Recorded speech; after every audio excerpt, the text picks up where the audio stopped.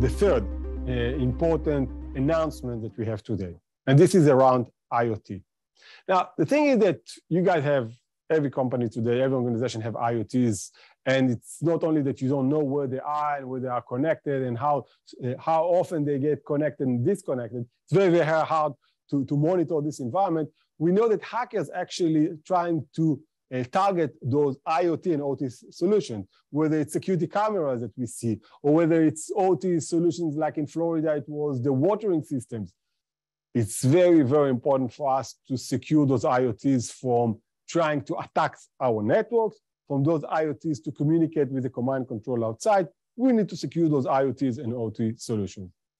The thing is that the problem is that uh, most solutions out there, and there are quite uh, quite a bit of solution of IoT security out there.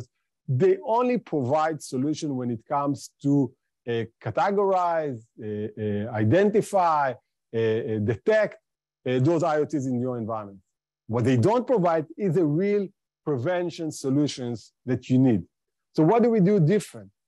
First, the first stage is that just like other vendors, we will discover and profile all your IoTs in your environments. What we do different in this first stage is that you don't need to install any additional sensor device in your network. Why? Because you just use the Check Point gateways. If you have Check Point gateways in your branch, the Check Point, in uh, Check Point gateway in the branch will automatically discover and profile all your IoTs. Whether you use it on your perimeter, whether you use it in the data center, even in the cloud, even in our SASE solution, we're going to offer this IoT solution everywhere, okay? Uh, but today I'll talk about quantum.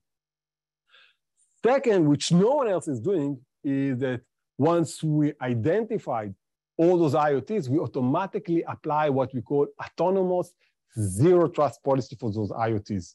You don't know how many IoTs you have. You don't know to who they communicate with. You don't even know what protocols they, you need to allow or block, right? Uh, to which domain they are communicating in order to be managed, controlled managed. We will automatically discover and automatically apply policy, zero trust policy for you that you don't need to do anything. So within minutes, we will discover, we will, within minutes, we will apply policy, and you just sit in the back seat looking at how this magic happens for you without doing anything manually.